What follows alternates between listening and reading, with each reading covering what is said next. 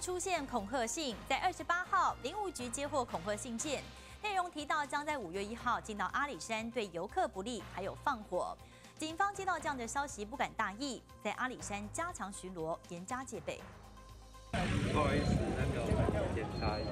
远警挥挥手，在阿里山森林游乐区入口前将车辆拦下，每台车仔细盘查，就怕有人携带危险物品。选的哦，爱注意四周的安全。进入游乐区内，远景也不断向游客宣导，并在整个园区，像是厕所、餐厅等，从上到下通通检查一遍。警方绷紧神经，严加戒备，就是因为林务局接到恐吓信。